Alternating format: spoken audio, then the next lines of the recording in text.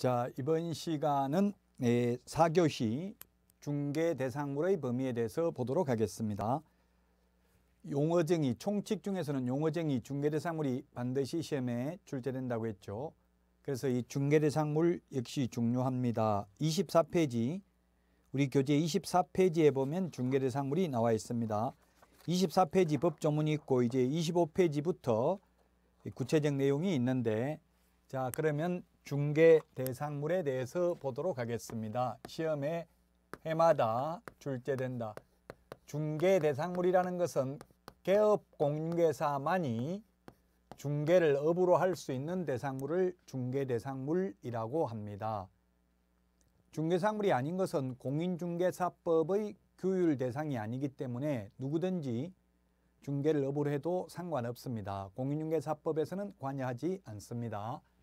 자 그러면 중개 대상물을 보면은 첫 번째 토지가 있습니다. 토지 그 다음에 두 번째 건축물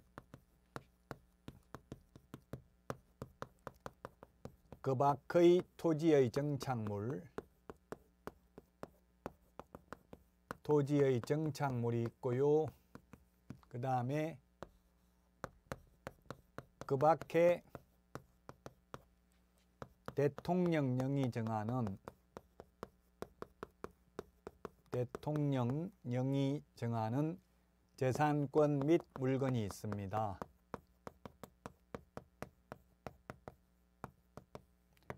대통령령으로 정하는 재산권 및 물건에는 임목에 관한 법률에 의한 임목, 그 다음에 공장 및 광업재단 저당법에 의한 공장재단, 그 다음에 공장 및 광업재단 저당법에 의한 광업재단이 있습니다. 자, 그럼 왜 토지가 중개대상물이냐 하면은 우리 자동차, 선박, 항공기, 건설기계 이런 것들은 중개대상물이 아닙니다. 그런데 토지가 중개상물인 이유는 우리는 토지로 토지를 눈으로만 봐가지고 이 토지가 값어치가 있는 토지인지 아닌지 알 수 있어요, 없어요? 물론 모양이 정사각형이나 직사각형 이렇게 생겨 있는 게 부정형으로 생긴 것보다는 더 좋겠죠. 그러나 그 모양만 보고는 가격을 알 수가 없습니다.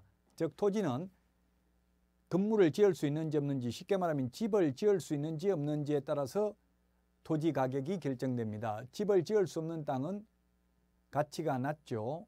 예를 들면 지리산, 한라산 꼭대기에 있는 땅들은 집을 지을 수 있기, 없기 때문에 경제적 가치는 없습니다. 따라서 토지는 눈으로만 보고 알 수 없고 토지 이용계획 확인서를 통해서 집을 지을 수 있는 땅인지 아닌지를 알아야 되기 때문에 전문 자격이 있는 개업 공개사만이 중개를 업으로 할 수 있는 중개상물입니다. 중개상물은 개업 공개사만이 중개를 업으로 해야 되고 개업 공인중개사가 아닌 자가 중개를 업으로 하게 되면은 무등록 중개업자로서 3년 이하의 진역이나 3천만 원 이하의 벌금에 처하게 되겠습니다. 자 그러면 토지라고 해서 모든 토지가 다 중개사물이 되냐? 그건 아닙니다. 그래서 공인중개사법이 어려운 것은 법조문에는 우리 교재 24페이지에 보면은 법제 3조 1호에 보면 그냥 토지라고만 되어 있습니다. 더 이상 설명이 없습니다. 근데 시험에는 토지라고 나온 적은 없거든요. 그래서 어렵다는 이야기입니다. 해석상의 문제니까 토지라 하더라도 중개 개입 여지가 있어야 됩니다. 따라서 중개 개입 여지가 없는 국가 소유 토지나 지방자치단체 소유 토지는 중개 대상물이 아닙니다. 개인이 사고 팔 수 있어야 됩니다. 그래서 기출문제에 출제됐던 게 미채굴 광물 미채굴 광물은 중개대상물이 아닙니다. 광업법 제2조에 의하면 광물 채굴권은 국가에 기속되어 있기 때문에 개인 땅 밑에 석탄이나 석유가 매장되어 있어도 그는 개인이 채굴할 수 있는 게 아니라 국가가 채굴권이 있습니다. 따라서 국가 소유이므로 중개사물이 될 수 없다. 그 다음에 무주부동산, 주인 없는 부동산은 국가 소유이므로 역시 중개대상물이 될 수 없다. 그 다음에 시험에 출제됐던 게 포락지 이런 것들이 하천의 범람으로 인하여 하천화된 토지로서 사건이 소멸된 토지, 개인의 권리가 소멸된 토지가 소위 포락지인데 개인의 권리가 소멸됐기 때문에 거래의 대상이 될 수 없으므로 중개 대상물이 될 수 없다. 포락지. 그 다음에 시험에 또 출제됐던 게 소위 대토권이라고 출제됐습니다. 대토권. 대토권이라는 것은 공익사업을 위한 토지 취득 및 보상에 관한 법률에서 현금 대신에 토지로 받을 수 있는 권리를 대토권이라고 하는데 이 대토권은 아직까지 위치와 면적이 특정되기 전에 대토권이라고 부르고요. 따라서 위치와 면적이 특정되기 전에는 중개대상물이 아닙니다. 이런 것들이 시험에 출제가 됐고요. 자, 그 다음에 이제 건축물이 어렵고요. 그 밖의 토지의 정착물도 어려운데 건축물은 우리 건축법 제2조에도 건축물을 규정하고 있고요. 민법 99조 1항에서도 건축물을 규정하고 있습니다. 근데 건축법에서 건축물이란 지붕과 지붕과 벽 또는 벽 또는 기둥이 있는 것을 건축물이라고 합니다. 이 말은 벽이나 기둥은 둘 중에 하나만 있어도 되고 지붕은 반드시 있어야 되는 게 건축물입니다. 물론 지붕, 벽, 기둥 모두 다 있는 것도 건축물이기는 하지요. 그래서 건축물의 건축법에서는 지붕과 벽 또는 기둥이 있는 것인데 민법 99조 1항에서는 이 세 가지 모두 다 갖추고 있어야 된다. 따라서 우리 주유소에 기름 넣으면 세차해주는 소위 이동식 세차장 구조물 이것은 지붕이 있고 기둥이 있기 때문에 건축법상 건축물에는 해당이 됩니다. 그러나 주벽이라고 할 만한 것도 없고 볼트 조립 방식으로 되어 있어 쉽게 분리 철거가 가능하므로 이를 민법상 건축물이라고는 볼 수 없다. 그러므로 중개상물이 아니다. 따라서 무등록 중개업자가 이동식 세차장 건물을 세건 중개해주고 한 건당 500만 원씩 받았다 하더라도 무등록 중개업자로 처벌되지 않는다는 판례입니다. 따라서 시험에 출제되는데 이동식 세차장 구조물은 중개대상물이 아니다. 중개상물이 아닌 것은 누가 중개를 하고 돈을 받든 안 받든 공인중개사법에서 관여할 문제는 아니라는 이야기입니다. 자, 그래서 결론은 중개대상물인 건축물은 건축법상 건축물을 의미하는 것이 아니라 민법상 건축물을 의미한다. 자, 그 다음에 또 이 건축물은 현존하는 건축물뿐만 아니라 장래에 건축될 예정인 동호수가 특정된 분양권, 미래의 건축물도 중개대상물에 해당된다. 장래, 미래의 건축물. 따라서 장래의 건축물에는 분양권이라는 게 있고 그 다음에 입주권이 있습니다. 동호수가 특정된 분양권은 미래의 건축물로서 중개대상물에 해당이 됩니다. 근데 입주권은 시험에 입주권이 중개상물이 이냐 아니냐 시험에 출제된 적이 있습니다. 가정답에서는 입주권이 중개대상물이 아니라고 했지만 본 정답에서는 복수 정답으로 모두 정답으로 인정했습니다.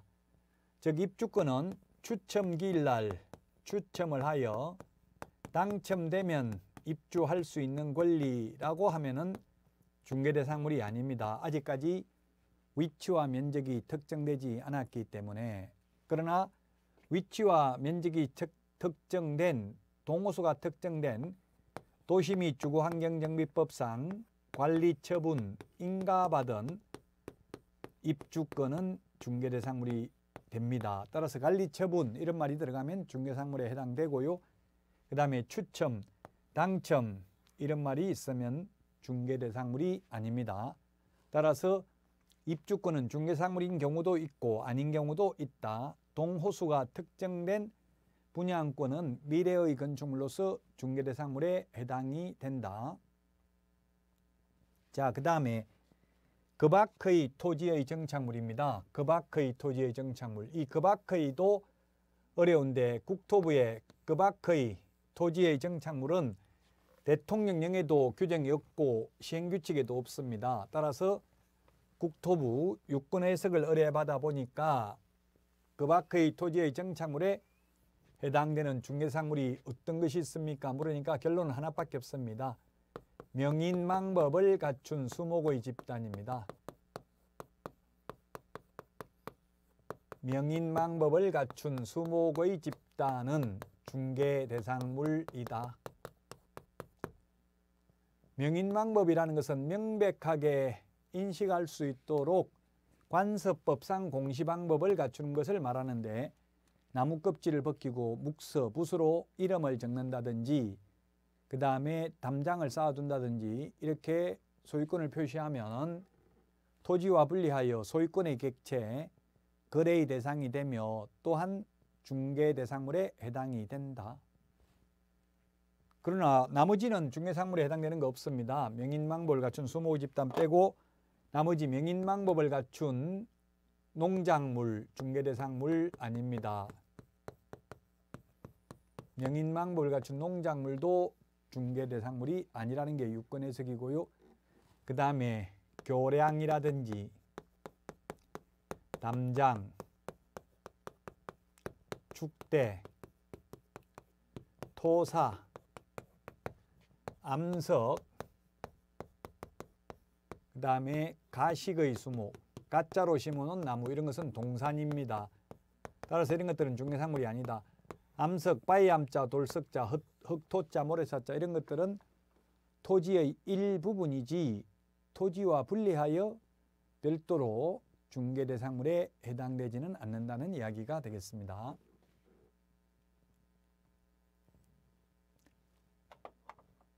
자, 그래서 토지, 건축물, 그 밖의 토지의 정착물 전부 다 논란의 대상이 됩니다. 해석상의 문제이기 때문에 그래서 어렵습니다. 용어 정의와 중개대상물이 가장 어렵습니다. 자, 그 다음에 임목, 공장재단, 광업재단인데 이건 논란의 여지가 없습니다. 대통령령으로 규정하고 있는 것만 중개상물에 해당됩니다. 따라서 이 세 개는 소유권과 저당권의 객체가 됩니다. 소유권과 시험에는 잘 출제되지 않습니다. 왜냐하면 현실적으로 임목, 공장재단, 광업재단을 중개하는 경우는 거의 없기 때문에 그렇습니다. 현실적으로 거의 없는 것들은 시험에도 잘 안 나온다는 이야기입니다. 자, 그래서 소유권과 저당권의 객체가 된다. 따라서 명인망법을 갖춘 수목의 집단이나 임목이나 둘 다 소유권의 객체가 되며 중개 대상물이 된다는 점은 똑같습니다. 다만 임목은 저당권의 객체가 될 수 있는데 명인망법을 갖춘 수목의 집단은 저당권의 객체는 될 수 없습니다. 왜냐하면 저당권은 등기를 요소로 하기 때문에 그렇습니다. 등기가 되어야 하는데 명인망법을 갖춘 수목의 집단은 관서법상 공시방법을 갖추었기 때문에 저당권의 객체는 될 수 없다. 이 세 개 모두 다 소유권과 저당권의 객체가 되고 세 개 모두 다 일물, 일권주의 예외입니다. 일물, 일권주의 예외다. 즉 하나의 물건에는 하나의 물권, 즉 소유권이 있다. 근데 이세 개는 물건은 여러 개인데 소유권은 하나밖에 없습니다. 임목, 나무가 여러 개가 있는데 이것을 임목으로 등기하게 되면 소유권은 하나밖에 없습니다. 공장재단, 광업재단도 마찬가지입니다. 공장부지, 그 다음에 건물, 설비, 생산 설비, 공업권, 공업권, 광업권 이런 것들은 예, 따로 떼어내서 중개사물 될 수 없고요. 이걸 전부 다 묶어서 재산적 가치가 있는 물건들을 모두 묶어서 재단 목록을 작성하고 이 재단 목록 안에 들어있는 것을 공장재단, 광업재단으로 등기를 하게 되면 이 재단 전체가 하나로서 중개상물에 해당이 된다. 토지와 분리하여 건물만, 공업소유권만 따로 떼어내서 중개상물이 될 수 없다는 이야기가 되겠습니다. 자, 그래서 우리 교재에 어, 지금 24페이지부터 시작을 해서 29페이지, 30페이지까지 내용을 다 말씀을 드렸습니다. 자, 31페이지에 보면은 3번에 중개상물이 되려면 양가로 1번 사법상 거래가 가능해야 되고요. 양가로 2번 중개행위 개입이 가능해야 됩니다. 따라서 32페이지 우리 교재 32페이지 박스에 보면 표에 보면은 중개대상물이 될 수 있는 것, 될 수 없는 것을 비교해 놨습니다. 자, 거기에 32페이지 교재 표를 보면 법정 중개상물, 토지, 건축물, 임목, 공장재단, 광업재단 법률과 시행령에 있는 내용이죠. 그래서 시험에 중개대상물은 법률로서만 규정하고 있다. X로 출제됐습니다. 대통령령으로도 규정하고 있다. 자, 그 다음에 중개대상물이지만 행위 제한을 받는 게 나와 있네요. 사인이 공유수면 관리 및 매립에 관한 법률에 의해서 매립 공사를 완료하고 준공 허가를 받은 매립지 준공 허가를 받았으면 개인 땅이 되면 그때부터는 중개상물이 됩니다. 공유 수면 자체는 중개상물이 안 되죠. 그래서 준공 허가를 받아서 이제 개인 땅이 됐다면 중개상물이 가능하고요. 그 다음에 도로라고 하면 논란의 여지가 있는데 사도 개인 도로는 중개상물이 될 수 있지만 공도, 국가 도로, 국도나 지방도 이런 것들은 중개상물 될 수 없겠죠. 국가 지자체 소유라면은 그 다음에 도로 예정지, 접도구역, 연안구역, 개발제한구역, 농업진흥지역 내의 농지라고 되어 있는데 모든 용도, 지역, 지구, 구역 전부 다 중개대상물이 됩니다. 용도, 지역, 지구, 구역은 행위 제한을 하는 것이지 거래 자체가 불가능한 것은 아니잖아요. 개발 제한구역이면 개발만 못하는 거지 거래가 불가능한 것은 아니거든요. 낮은 가격으로 팔면 팔립니다. 그래서 모든 용도 지역 지구 구역이라 하더라도 개인 땅이라면 중개상물이 됩니다. 다만 공법상 행위 제한만 있을 뿐이라고요. 용도 지역 지구 구역은 그 다음에 가처분 가압류된 토지 사법상 제한이 있는 가압류 가처분 전세권 설정 등기된 경우 임차권 설정 등기된 경우 지상권 설정되어 있는 경우 다 중개상물이 됩니다. 다만 사법상 제한 가압류가 돼 있으면 가처분 등기가 돼 있으면 위험하죠. 위험하지만 거래할 수는 있습니다. 중개상물이 됩니다. 그래서 자, 그 다음에 중개상물이 아닌 걸 보면은 공시방법을 갖춰서나 법률에 규정이 없는 것, 어업권, 20톤 이상 선박, 20톤 미만, 미만 선박, 20톤 이상은 어제 부동산, 준 부동산이고요. 20톤 미만인 경우에는 동산입니다. 그래서 선박은 20톤 미만도 중개상물이 아니고 20톤 이상 어제 부동산이지만 대통령령에 규정이 없어서 중개상물이 아닙니다. 그 다음에 건설기계, 비행기, 차량 이런 거 다 중개상물이 아니다. 그 다음에 공장재단, 광업재단에서 분리된 토지 건축물도 중개상물이 아니다. 공장재단, 광업재단은 재단 전체가 하나로서 중개상물이 되지 재단에서 분리된 공업 소유권만 따로 떼어내서 중개상물이 되지 않는다고 했습니다. 그 다음에 거래가 불가능한 것, 행정재산, 무주 토지, 주인 없는 토지, 공도, 미채굴 광물, 호수, 공원, 바다, 지정하천구역, 사건 소멸된 포락지, 개인 땅이 아니라서 중개상물이 아닙니다. 자, 그 다음에 중개 개입 여지가 없는 것 보면은 경매, 공매, 공료, 공용 수용, 상속, 증여, 기부 체납, 환매 그 자체는 중개 개입 여지가 없습니다. 근데 시험에 상속받은 전답 이렇게 출제된 적이 있습니다. 상속받은 전답은 상속인 소유니까 중개상물이 되죠. 다만 상속 그 자체는 중개 개입 여지가 없다고요. 상속은 법정 지물의 지분에 따라서 배우자, 직계 비속이 1순위고요. 2순위가 직계 존속입니다. 지금 현재 우리나라에서는 불효자식도 상속받습니다. 부양하지 않은 부모도 상속받습니다. 그래서 법정 지분에 의해서 상속받기 때문에 상속 그 자체는 중개 대상물이 아닙니다. 개입 여지가 없습니다. 다 그러나 상속받은 토지, 상속받은 건물은 상속인 소유이므로 중개 대상물이 되지요.